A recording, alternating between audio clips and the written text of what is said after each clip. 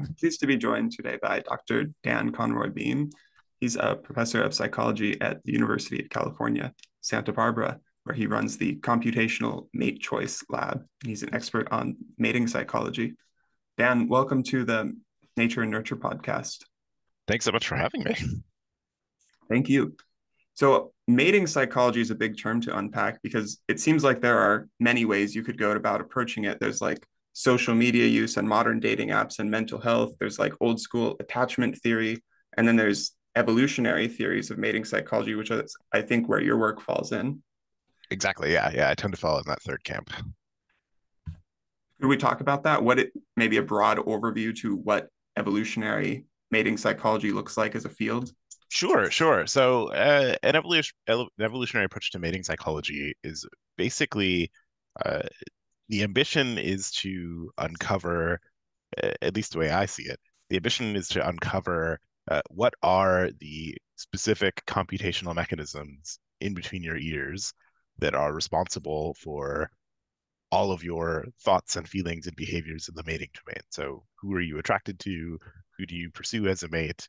Uh, how do you regulate your relationships once you start them? Uh, uh, uncovering all the psychology that's responsible for all of that is our aim. Uh, and we use evolutionary theory as a guide to make predictions about what that psychology is likely to be. So we turn to what we know about uh, the lifestyles of human ancestors throughout most of our evolutionary history, uh, what we know about the kinds of relationships they would have formed, and what we know about the kinds of problems that would have posed. Uh, and then we use an understanding of those problems to predict adaptations that would have been improbably good at solving those problems. And then we look for those mating adaptations in the lab. Is mating psychology in this sense limited to what people consciously recognize as it's towards mating, or could you have also some very roundabout explanation of like, you know, let's say you get a job promotion and you're excited, and then the evolutionary psychologist might come along and say, you think you're excited about the job, but you're actually excited because the job raises your status, and status means more mating opportunity. Uh, well, you know, I think we have to be careful here. So, yeah, certainly no, we're not proposing that all of these things are are uh, uh, conscious uh, or accessible to consciousness. Um, there are plenty of uh, there are plenty of things that happen outside of your conscious awareness, right? Uh, that mm-hmm. are uh, psychological adaptations. That said, that doesn't. you say that, and people, yeah, often think that that means that you have some sort of like unconscious drive to like maximize your fitness or something. There's some little like right. hidden homunculus inside of you that is like trying to game out evolution. Uh, and that's not really how it works either, right? There, there's no part of you that is really aware of fitness. There's no part of you, most likely, there's no part of you that is really like trying to maximize your reproduction or something like that. Uh, there's, you you know, you are just like your like physiological system to like all of your organs. There's no like hidden organ that is like trying to maximize your reproduction all the time. No, you just have a collection mm-hmm. of organs, each of which does a job that keeps you alive, and it does that job because your ancestors who had that organ out reproduce those of them who didn't, right? Uh, and it's the same thing psychologically, right? You have a collection of psychological systems, some of which are accessible to consciousness, some of them aren't for reasons that are not entirely clear. Uh, and all of them just do a job in getting you through your social life, getting you through your uh, uh, well, your physical life in many ways too.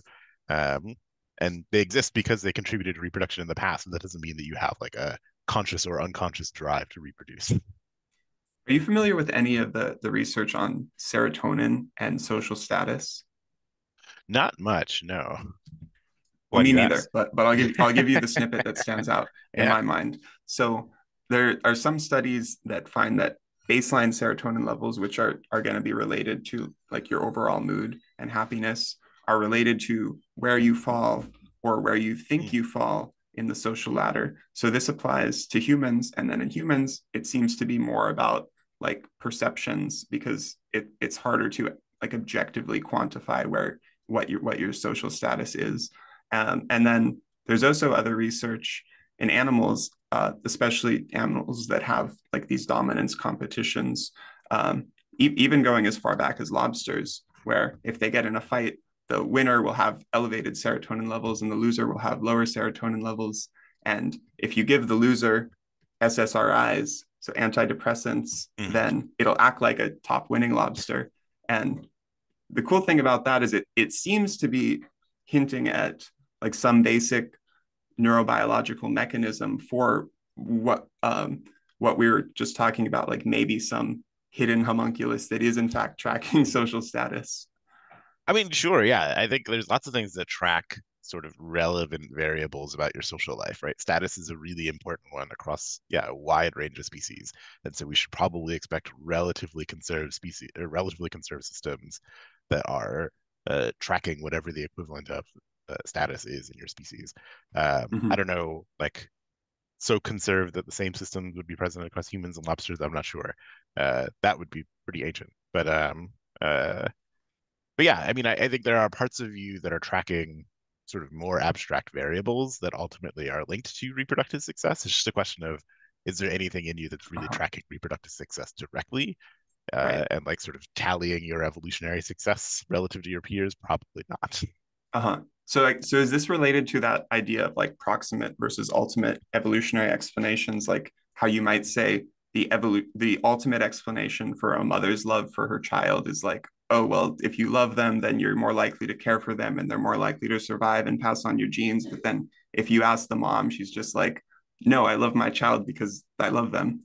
Exactly exactly. That's uh, uh um uh, uh exactly it. there's a there's a great um when i teach this to my class there's a great uh, william james quote when he talks about um, a mother hen sitting on her eggs and how you know to her an egg is the most precious never to be too much sat upon object in the world.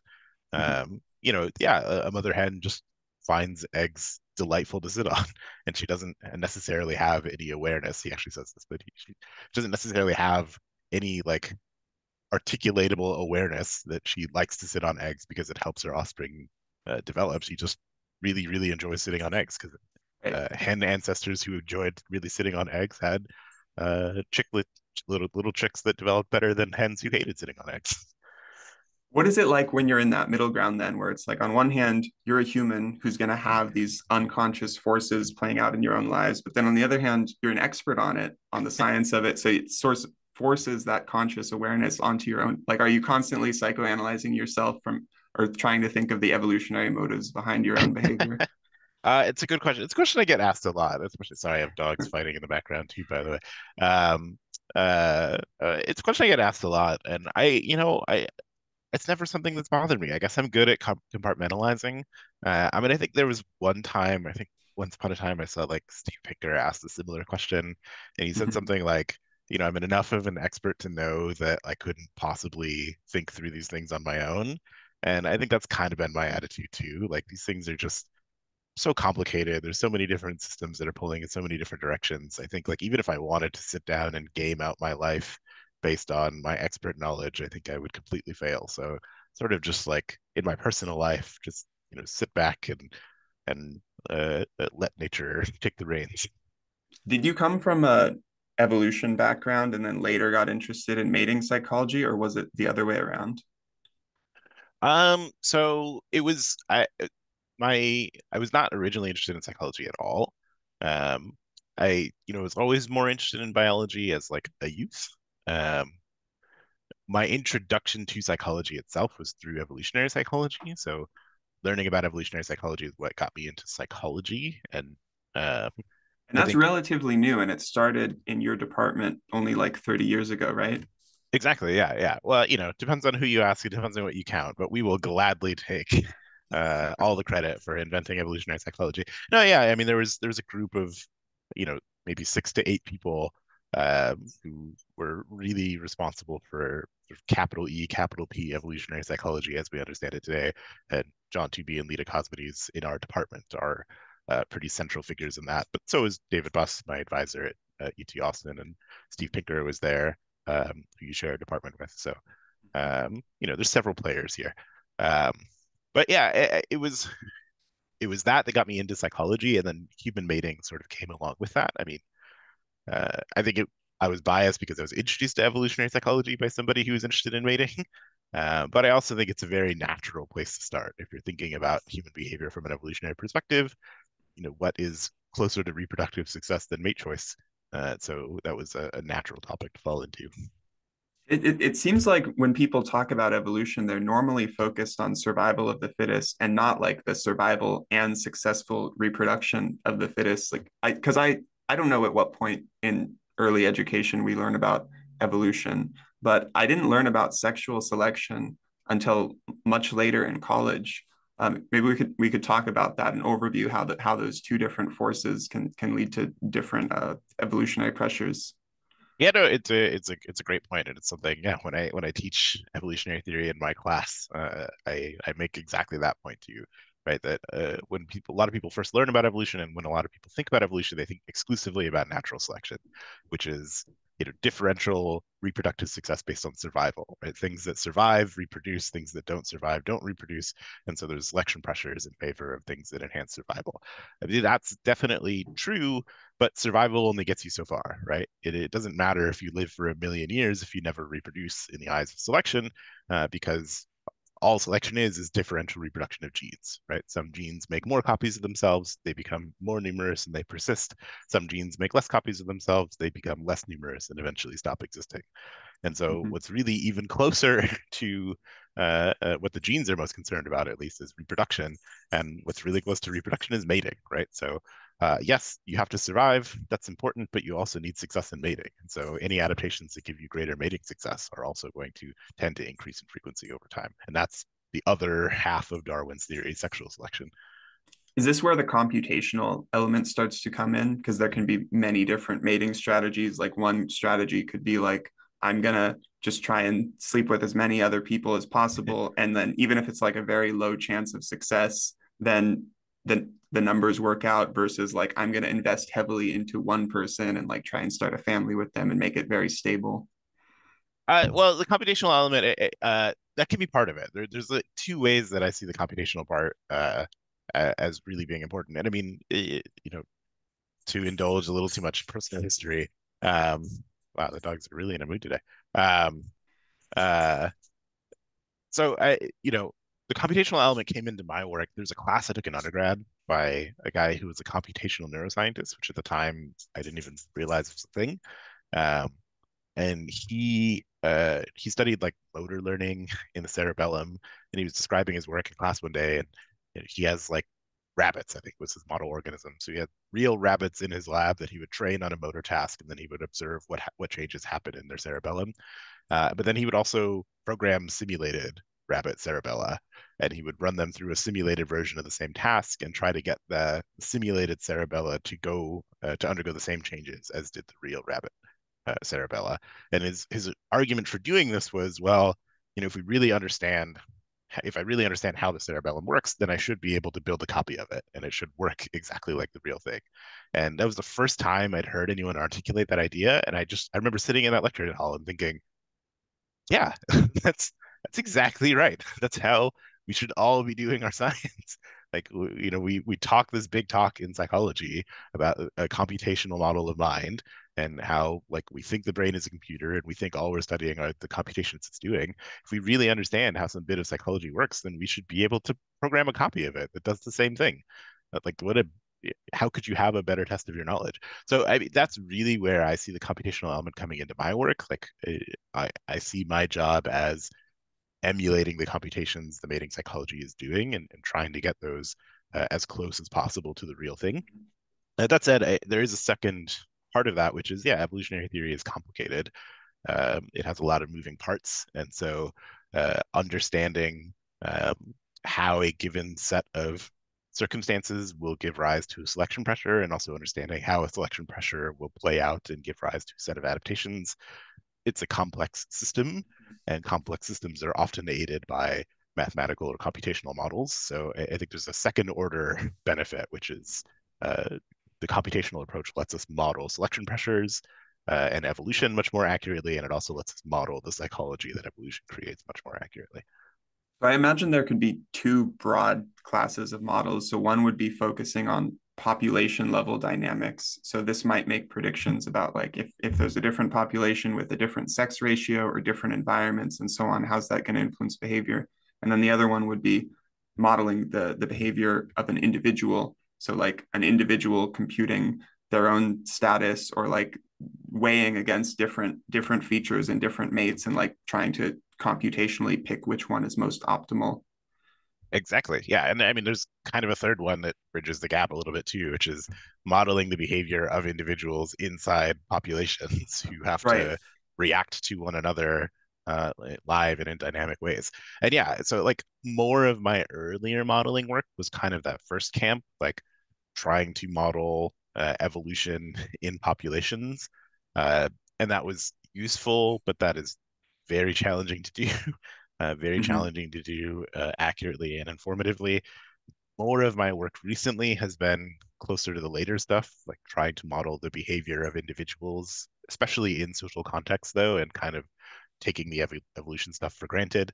Uh, I, would like to meet in the middle at some point, uh, modeling the behavior of individuals with some sort of evolutionary component. Uh, getting getting both of those into one model is is a lot of work. Can we talk through a specific study or a specific result you found from each of those and start with the the earlier work on, at the more population or theoretical level? Sure, sure. So, I mean, one of my earliest papers, um, especially kind of connected to what I do now.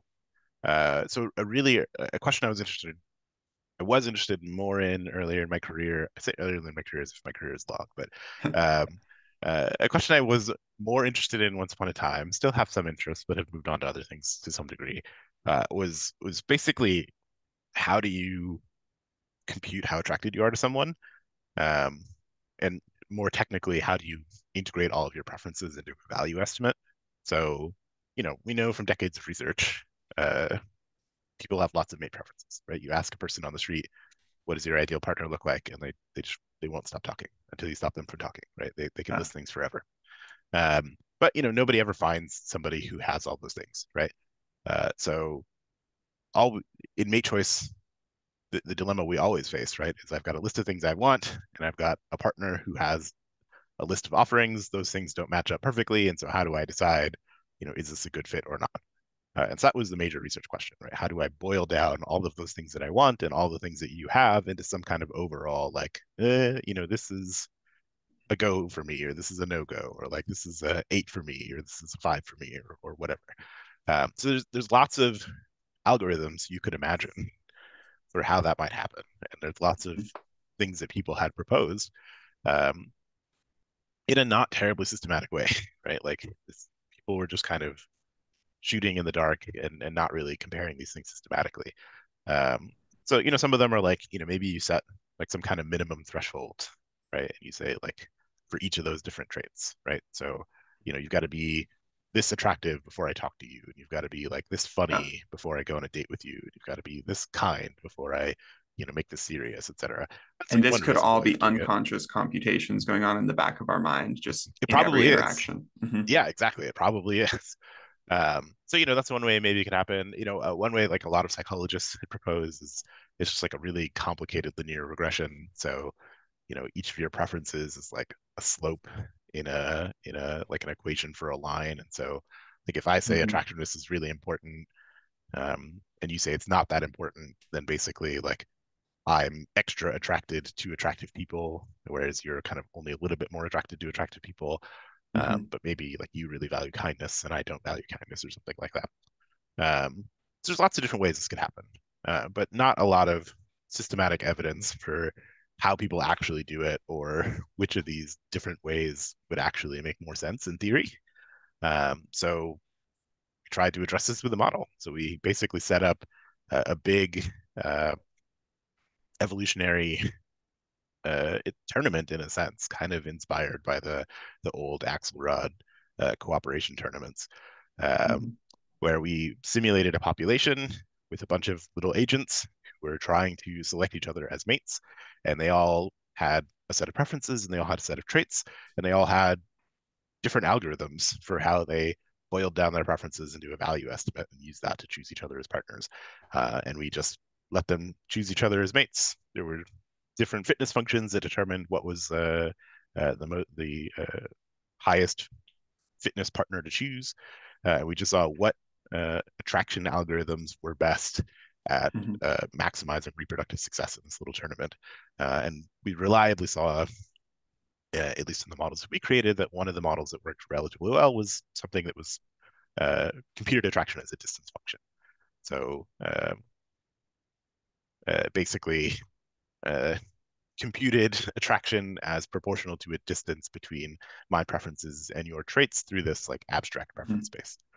So I, I can think of two hypotheses that could come out of that. One, one of them would be that you would probably see people with extremely unrealistically high standards relative to their own attractiveness would be selected out and that wouldn't ha- sustain itself over time um, that's that one seems obvious to me but then the opposite to that is if you imagine someone evolved with just no standards whatsoever so that they were eligible to mate with everyone wouldn't that immediately take over yeah uh, great thoughts uh, so i mean that first one is something we reliably observe over and over again in these evolutionary models. And that's something that you see in real people, and it's also something that you see across species. Uh, so yeah, you need to have sort of sensible preferences if you want to succeed in the mating market. Uh, so this is something that we did not explicitly predict. This is the fun of doing models, um, but continually observed as we did these evolutionary models, where you can start everybody with having sort of uh, arbitrary preferences that have nothing to do with their own characteristics. But over time, yeah, they evolve preferences that are calibrated to their own market value. So the people that are the most desirable eventually ask for more, and the people who mm-hmm. are less desirable um, kind of are forced to ask for less because the people who are less desirable but have really high standards continually fail to fulfill them. They fail to choose partners and they fail to reproduce. Um, mm-hmm. You know whether that's how it works in real life um, exactly like that sort of like um, is it selection directly that's maintaining uh, these differences in standards. I'm not sure about that uh, but that is a reliable result from the models. And we do see this you know across species there are uh, there's some evidence of assortative preferences basically. Like whatever is desirable for your species uh, you know I, I, I remember seeing um, uh, a paper on this in snakes right? Um, where basically uh, snakes had preferences for partners that were similar in body size to themselves, basically because larger bodied individuals are more able to compete for larger body partners and smaller bodied individuals get kind of pushed to the periphery and are forced to choose amongst each other. Um, so I think that's a pretty reliable result. And we do see that in human data too, that people who have more of what other people want also ask for more. Um, that said, yeah, would a like low standard variant invade a population with well calibrated preferences? Um, I think probably not. I mean, it partly depends on how you think preferences work, um, but I think regardless of how you think they work, um, it's always best to ask for the most that you can get, um, and probably best to ask for a little bit more than you can realistically get, like overshoot just a little bit just in case um, because if you if you have a lot of market power and you are consistently going for uh, the lowest value options, then uh, you're going to be outcompeted by somebody who has a similar market value but slightly higher higher ambitions, right?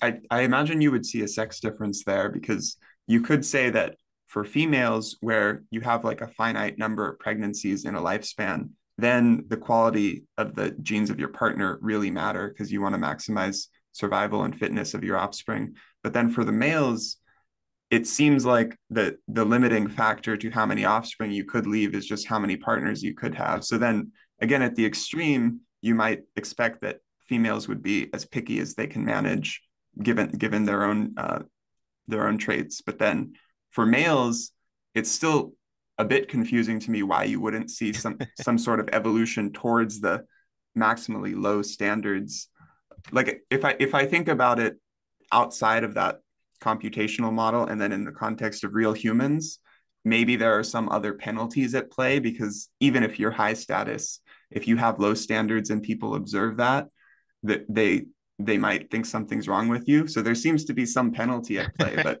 but in a in a pure model where they don't have like that social bias, I don't know how that would come into play. well, so there's two issues there, right? So one is, yeah, I should clarify, like all of our models are looking pretty much exclusively at like long-term committed uh-huh. relationships. Uh-huh. Um, so and in the the evolutionary model I was talking about just a moment ago, these were like lifelong monogamous pair bonders, not right. like because we were like programming anything. Oh yeah, the, if you're stuck the with them for life, certainly the standards are going to be as high as you can manage. Exactly, exactly. Yeah, but if you were talking about like uncommitted short-term relationships where you could have potentially multiple partners across your lifespan, yeah, then things are different, right? Then probably if um, if the number of partners you have is less constrained, and if having stricter preferences decreases your rate of reproduction, then yeah, you would probably predict that uh, the more partners you can have would lead to lower standards for each of those partners, and that's that's a long-standing prediction in evolutionary psychology. Like if you think about, it's not just a sex difference; it's a sex difference by mating uh, mating strategy cross. So in long-term mating, where both males and females are dedicating huge amounts of resources to a small number of partners, yeah, everybody should be picky, and everybody is picky.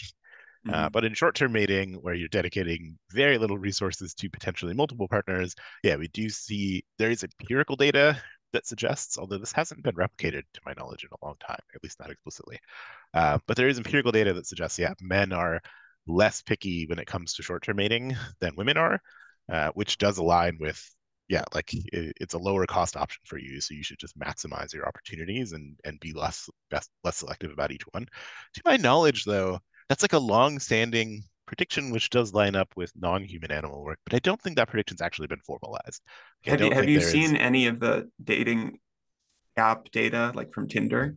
Yeah yeah yeah yeah and i know uh-huh. yeah like uh, you regularly see uh, uh, women in those apps uh, setting much higher standards than men. Although that's kind of confounded with uh, sex ratio in the case of mm-hmm. many of those apps, right? Where uh, it, generally women are greatly outnumbered by men, which also there's evidence uh, affects standards too. So uh-huh. it, it's so probably as the sex ratio skews the the the sex that is smaller represented is always going to be seen as more desirable and then that, that effect gets larger the more skewed it is.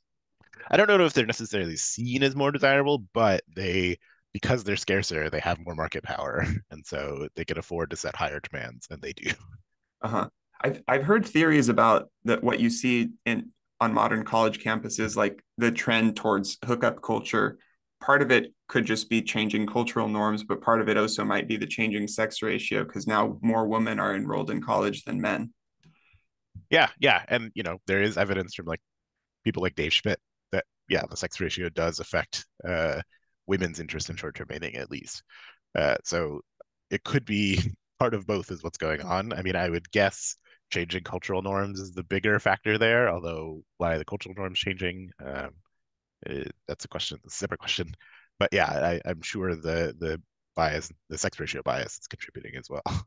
So then at, at the two extremes, and, and these are sort of just like caricatures, but if there's a bunch more women than men, then each man might have the opportunity to juggle multiple partners and you get something that looks like a hookup culture. And then if it's the opposite, if there are too few women, then you might have like the chivalrous uh, different men fighting over women and trying to like outcompete each other and maybe doing that through fighting or doing that like through just trying to be extra nice to the woman and giving gifts and so on. And th- that that's a whole evolutionary theory itself right? Because if there's going to be competition usually male male competition one way of getting around that is like to just fight amongst the males and, and beat off all the rivals. But then the other one is just to not do any fighting whatsoever but to make yourself stand out yeah, exactly. And those are the two components of sexual selection, right? So there's intersexual selection. You can uh, succeed in sexual selection by being especially attractive to your potential mates, or you can succeed by intrasexual competition, right? You can uh, succeed in mate choice by physically preventing all of your rivals from having any mating opportunities. And you know, different species uh, uh, tend to be more or less subject to uh, uh, the two different types of selection. So, I mean, that's mm-hmm. why you see the evolution of weaponry in in uh, you know species like deer and also like gorillas and stuff like that. Mm-hmm and sometimes you get these these really counterintuitive effects these handicapping effects like with peacocks so the biggest, mo- brightest peacocks are the most fit, but at the same time, the ones with the biggest feathers are like wasting a bunch of energy developing big feathers and it hinders mobility and it probably makes them more visible to predators. So, like outside of sexual selection, you would look at that and think that that's the one most likely to get eaten and die and not leave their uh, their genes. Exactly. Yeah. Yeah. Uh, so costly signals, right? Uh, uh-huh. signals that are uh, informative exactly because um, well, they impose a cost on dishonest signalers, right? And so, mm-hmm. uh, yeah, you get these extravagantly wasteful signals um, that exist purely because seemingly they uh, uh, signal your ability to pay costs. Um, and there's also like you know Fisherian runaways are another um, uh, preferences. The existence of a preference can cause this runaway selection process, uh, where the preference is selecting for a more extreme version of itself, essentially. um, and that can huh. lead to elaboration of traits like the peacock's tail. Right. It, sounds like what I what I was hinting at there with the idea of like standards lowering over time in this model. That would have been a runaway feedback loop. What is it that usually like stops those? Because if something is adaptive, you might expect everything to run away. Like, you know, if if women like bigger, stronger men, then we're going to evolve to be bigger and stronger over time. And it seems like that's happened to some degree because there's sexual dimorphism, but it's not like, you know, we were we were four feet tall a few thousand a few million years ago and well now we are much taller but it, it's like it's not running away till you're getting eight foot humans everywhere there seems to be some sort of natural limit to it right true well i mean if anything we're less dimorphic right the the history uh, in our species has been uh, decreasing dimorphism over time. Really? Uh, yeah, yeah. So we're you know. Oh, you mean like I mean, compared at, to chimps who are exactly? Then, yeah. yeah, yeah. I mean, look at us compared to our great ape cousins, right? Like we are a much more monomorphic species. Like males and females are much more similar in our species than they are in chimps or certainly like gorillas, which is probably due to our history of pair bonding, right? Because mm-hmm. uh, pair bonding species tend to have smaller sex differences. Uh, so if anything, we're we're going the opposite direction. Uh, but I mean, like with all things, you know, life is all about trade-offs, right? So uh, being bigger and stronger, uh, you know, if there's a preference for size and strength, then yeah, that being bigger and stronger will provide you some amount of benefit in terms of uh, uh, intersexual selection, right? It'll give you some sexually selective benefit, but being big and strong is costly, right? Like muscle tissue is energetically expensive, uh, testosterone is energetically expensive. Um, so if it's decreasing, if it's increasing your energy budget, or if it's increasing the costs on your energy budget, if it's decreasing your mobility, if it's taxing your immune system, right, it's going to lead to a survival decrease, which can maybe be tolerated to some degree if it's being compensated by a mating increase. But eventually, you're going to reach an equilibrium where having extra size and strength isn't worth the survivability costs that come along with it. And Are you familiar you know, with Geoffrey Miller's mating mind hypothesis? uh, yeah, a little bit. Yeah. So from from what I understand, the idea there is like we evolved bigger brains over time, but our ancestors a few million years ago and even modern chimps now were surviving well enough with the this brain sizes that they had before. So it doesn't seem like we bigger brains for better survival chance was like the sole explanation for it. And then he's he's arguing that it was this sexual runaway feedback loop where like maybe you're more attracted to a more intelligent partner and then they're more attracted to a more intelligent partner and then like over time all the generations humans just get smarter and smarter. I think i think it's creative. I think it's it's fun to think about. It's uh you know good outside the box thinking but you know if i had to bet my money on it i yeah i would say implausible. I mean you know uh sure chimps survive enough okay but i mean just look at us. Like yeah. we live in the entire like we've colonized all of the habitable uh, territories on the earth plus canada right? Like the the the the benefits of intelligence i think are pretty obvious just looking at our species. So i, I think it, it's probably it seems much more likely uh-huh. to me that that natural selection is responsible for our intelligence over sexual selection. But you know uh, that's not to say intelligence is irrelevant in the mating domain. Right. But it, it sort of halts at a point right? Because we we're probably no longer being selected for intelligence and like growing more evolving more intelligent over time right? Like it, you you might even argue again like putting aside the the computational advancements because maybe we're going to get like a neuralink thing that makes us way smarter. Um, but aside from that if anything you might say we're, we're devolving because now like thanks to medicine and stuff it's more common that even if you have like a genetic disorder you can still survive and then pass your offspring or pass that genetic disorder to your offspring. I mean, I wouldn't want to say devolving. I mean, I think, you know, selection pressures change, right? And uh, so I think we're subject to a different set of selection pressures than our ancestors, where yeah, medicine relieves us of a lot of selection pressures related to like health and pathogens and injury and that sort of thing. Uh, and so uh, uh, we're surviving a lot more because of that. But now there's probably selection pressures that we don't even know about that relate to you know success in this modern and modern life that we're creating.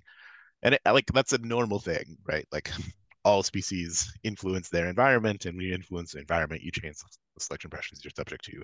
We just, yeah, probably influence our environment more than most species do. Can you speculate about some of those more modern selection pressures that you, you said we might not even know about, or maybe some that you've done research on already that oh. other people wouldn't have heard of or wouldn't have thought I mean, of?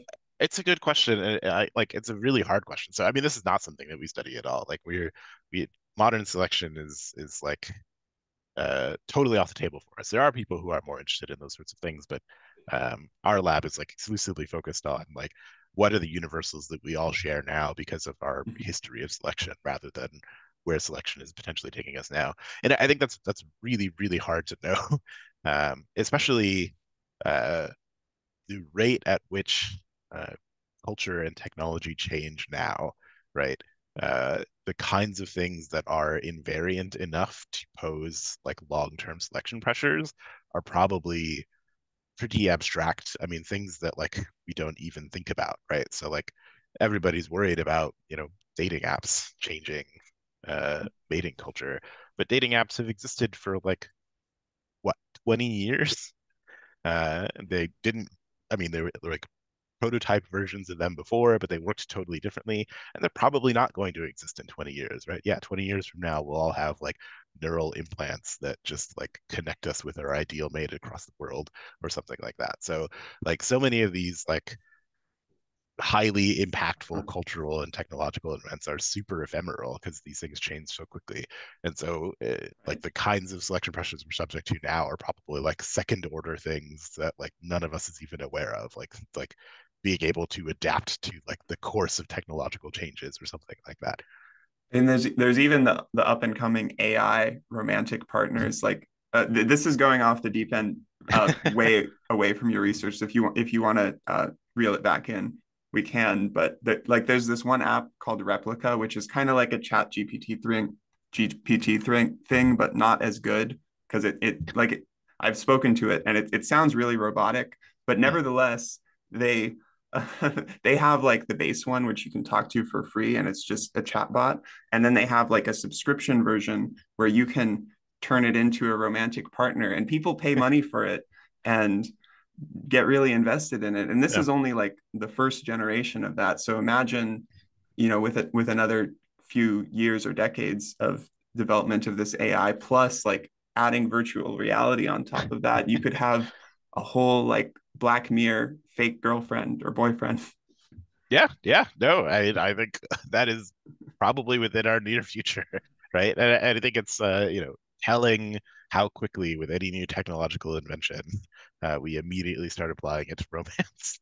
Yeah, uh, I think that says something about the the place of mating in human life.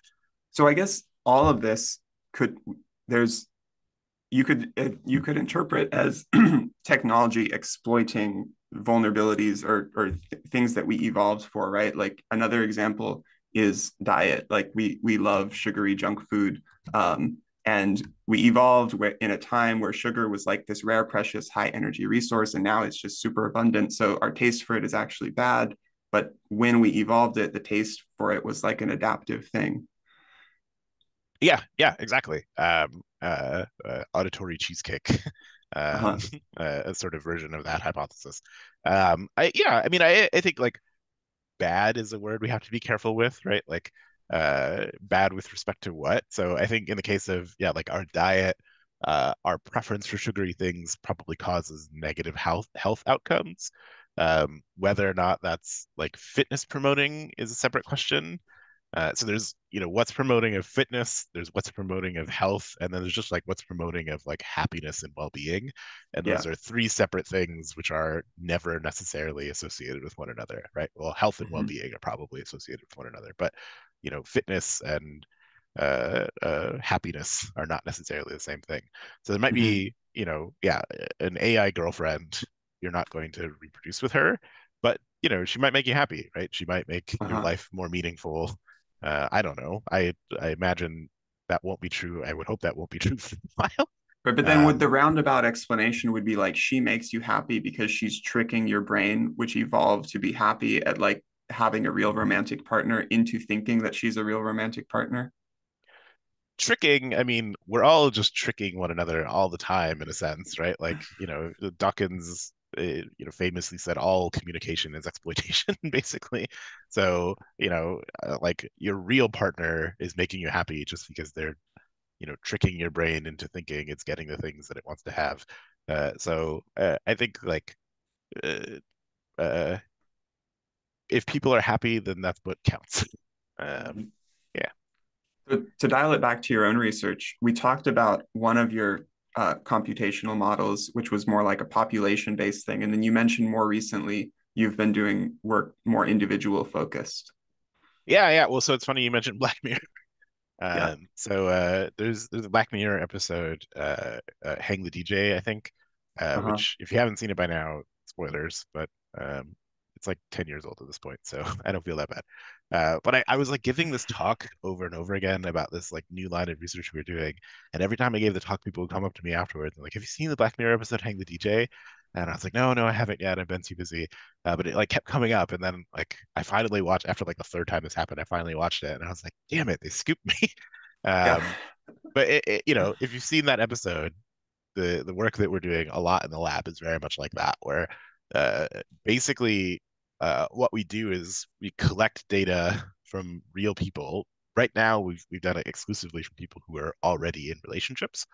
Uh, so we collect data from people who are in relationships uh, about things that might have been relevant to their mate choice. So like, what do you prefer in a partner, and and what do you actually like?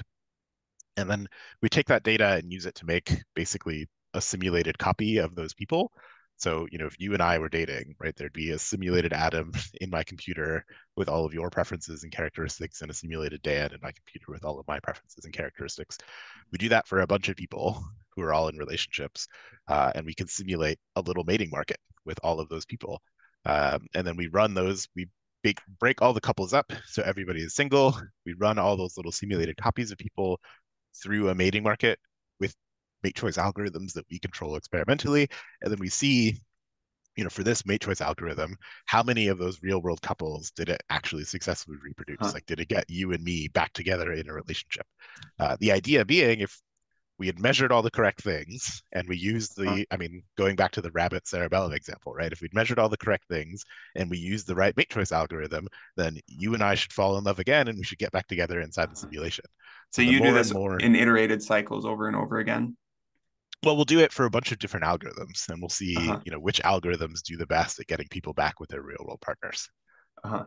So they really did scoop you because in the Black yeah. Mirror episode, it's not just like a correlation or the percent overlap between the preferences. That if they say you're a 99% match in in the show, what that meant is that if they simulated a thousand runs, like in 990 of them, they ended up being partners. Yeah, and we can do exactly the same thing yeah, we can simulate cool. you in, in a bunch of different mating markets and see and how many of those markets do you actually get back together. Yeah. And this is what you're actively working on? Yeah, yeah. Yeah, so we have a paper that came out 2021 kind of introducing the general method and then we've got a couple other projects in the works that that hopefully will be coming out soon that uh, explore sort of testing out different algorithms that work in different ways to see uh, what actually reproduces people's choices the best are the algorithms something that would make sense to to talk about different strategies, or would that be too technical? Uh, they can. Uh, we can talk about them at a high level. Some of them get a little bit technical, but um, you know, so there are a handful of these that existed in the prior literature. Um, one, you know, one that works relatively well, that's relatively well known, uh, is called the Gale-Shapley algorithm, which uh, comes from economics. Actually won a Nobel Prize, if I recall correctly.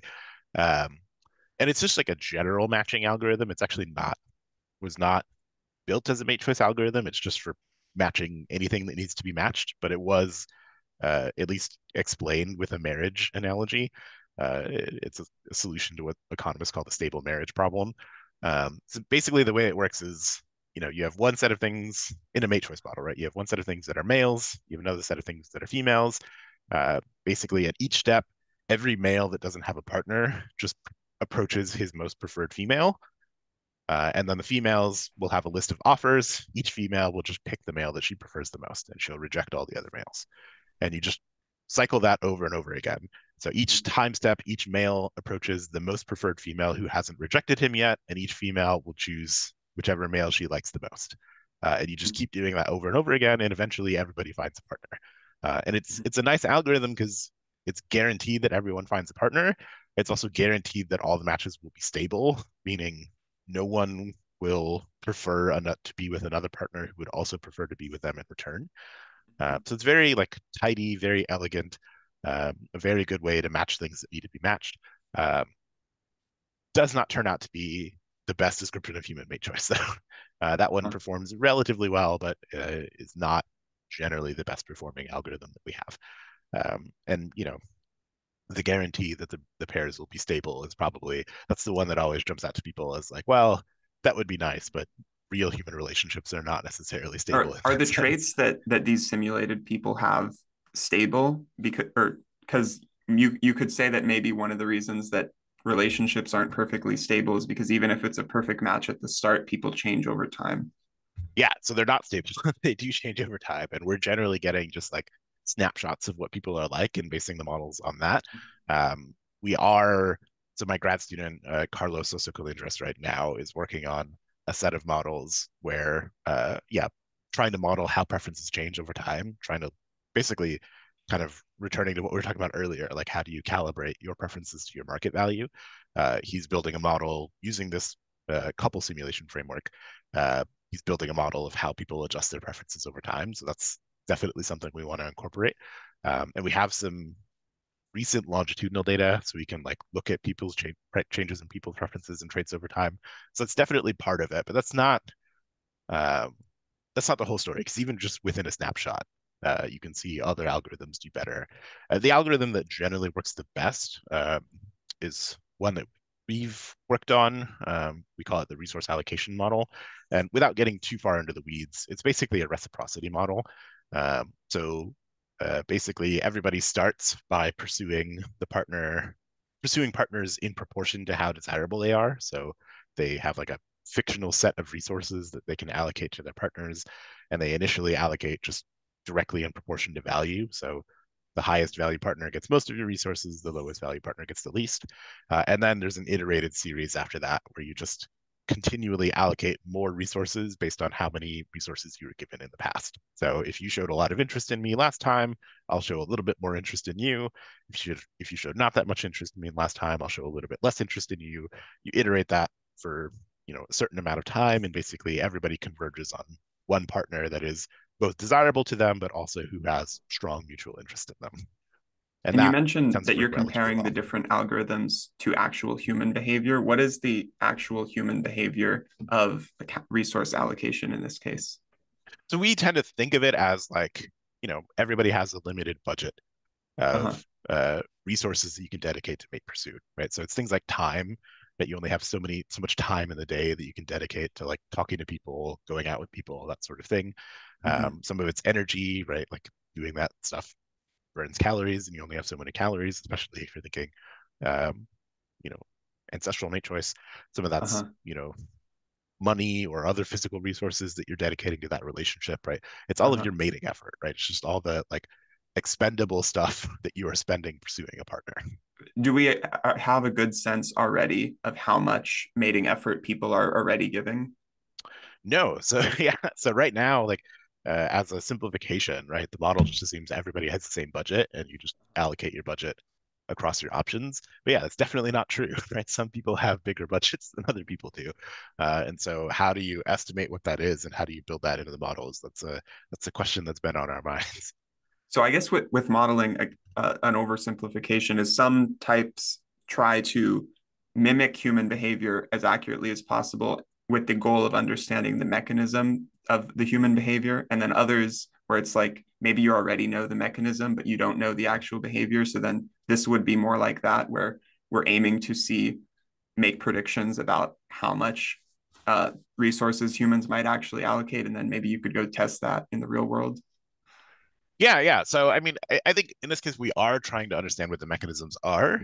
Uh, uh-huh. but yeah as we get better purchase on what those are then we can turn to a more predictive mode where we can say okay like this is a free parameter. The amount of resources you have in the model is a free parameter and we'll just like mathematically determine like what's the best estimate of the amount of resources you have and then we can see does that map onto you know something about your personal life that we can say yeah. is like ah look here's here's the resources we were estimating in the model. In actual human brains how much of this do you think depends on theory of mind or the the ability to think about what other people are thinking presumably thinking about you that's a great question i think a lot of it right I think theory of mind uh, uh, saturates the whole system, right? Uh-huh. Because I mean, in order to choose a good partner, and I, I, think this is something that has been missing from the mating literature as a whole, and I think this is part of why the these computational models are so useful. Um, because yeah, so much mating research historically is like you sitting at a computer and like choosing mates basically off of a menu, right? Like mm-hmm. here's partner one. Like, do you want to pursue them? Yes or no? Here's partner two. And you don't really have to consider how that person might react to you. But that's integral mm-hmm. to mate choice, right? like you have to choose a good partner, but also they have to choose you back. So you need to be able to think strategically about like what's the likelihood that this person would be interested in me? What kinds of things can i do that might make that person interested in me? And so you need to have some kind of mm-hmm. representation of what the mating market looks like from their perspective right? What are their yeah. preferences? What are their strategic interests? And you need to be able to adjust your behavior in response to that. So i think yeah theory of mind is extremely important to human mating. Absolutely. You mentioned steve pinker a few times and we've been doing uh, some research on this phenomenon of common knowledge which is mm. kind of related. So theory of mind or shared knowledge has like different levels. So like level one is I'm thinking about what you're thinking. Level two is I'm thinking about what you're thinking about what I'm thinking. And you can like go on like ad infinitum. And then mm. common knowledge is kind of just like it's out there. So you can do as many iterations as you want. And I'm wondering if that might also uniquely influence mating psychology because you could imagine something like a, a social pressure as well. So the classic Solomon and Asch experiment, for example, where it's like you you ask two people which line is longer, and one is literally longer, but all of the others say that the shorter line is longer, and you mm. see like a, a, pretty significant proportion of people give in to peer pressure, and they're thinking maybe I'm just seeing it wrong if all these people think that the short one is actually longer, so they change their answer. And I'm wondering, like which which one matters more for mating preferences? Because you could say like you think someone's really attractive but then everyone else is saying they're not does it cause you to second guess your own belief or or the other way around? Like you think they're not but everyone else does. Do you then give in to the the peer uh not not exactly peer pressure but like the co- the collective consensus on what what the attractiveness level is?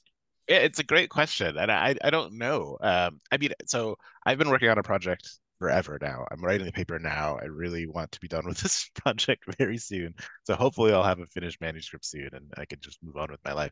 But I, I mean the the core of the project is an idea that I'm still fond of, which is eh, we tend to take for granted in mating research that people know what their partners are like. Uh, but we know that's not true, right? And you know, mm-hmm. I think Peter Todd Peter Todd deserves a lot of credit in mating research, but like he he and Geoffrey Miller sort of put their fingers on this problem a long time ago. Um, but yeah, like you you have to learn what a partner is like and you don't get that information for free and also they're incentivized to deceive you right everybody's incentivized to look as good as possible uh, uh, in the mate choice phase at least so that they're more likely to get a partner that's better than than they otherwise would and so you know all we ever get are sort of noisy snapshots of what a person is like and we have to sort of collect those noisy images over time into some kind of overall hopefully better representation of what this person is really like uh-huh. and uh, we don't really acknowledge that in mate choice research and we don't really study how people do that kind of process Uh, but given that each of us, you know, for any given potential mate, each of us only has a sort of noisy representation of what that person is really mm-hmm. like, then it's only rational to include social information, right? Like I have some set of samples of what this person is like. You have a different set of samples of what that person is like. If we average those together, assuming I can trust you to tell me accurately what your representation of them is, which I, I don't know that I necessarily can. Uh-huh. It's another strategic issue here. So there's like, there's uncertainty built in, and there's like a Bayesian updating approach of of what your actual beliefs are. Hmm. Well, we test we test a variety of models. The Bayesian one uh, maybe does relatively well. You'll have to read the paper when it comes out. Um, but yeah, I, I look like forward to seeing that. uh, but so, yeah, I mean, it's so it I, in this case, it's not about social information, but I, I do think social information is a big part of that. And there is there's a phenomenon called mate choice copying, which happens again across species, like from fish to humans, where yeah, somebody else being chosen as a mate makes them more attractive to other potential mates. And I think that is that kind of like social information use, right? Like maybe they know something I don't. Maybe it's maybe it is reasonable to like that person more than I thought they, they uh, more than I thought I did.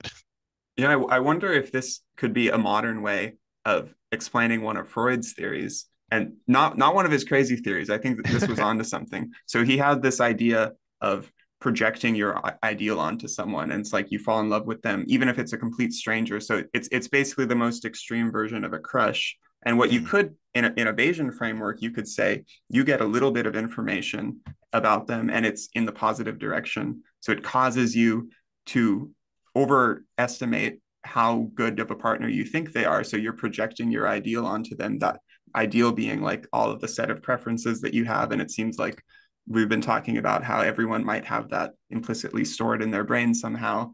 And then it's like you find out and then suddenly you get a new piece of information inconsistent with that ideal and you're disillusioned with them. And the whole thing so he, he viewed this as like a, a psychopathology type thing uh, or, or uh, I, I don't remember what he called it but it, it seems rational if you look at it from a bayesian perspective here yeah, exactly. I mean, it, it's it's a good reinforcement learning, right? Like, yeah, you have some number of unknown options, and you don't know which one is the best. You need to be motivated to explore them until you find out which one is the best. And uh-huh. I mean, and yeah, you need a prior that tells you what is your initial belief about how rewarding these things are going to be. And yeah, if you have a a prior that suggests everybody is super rewarding, you know, a re- in reinforcement learning, that would be like an optimistic start and that motivates you to explore your options enough to find out which one is actually the best. It is very rational. We've covered a lot of territory here, Dan. This was excellent. Thank you very much for your time. Yeah, yeah. Thank you so much for having me.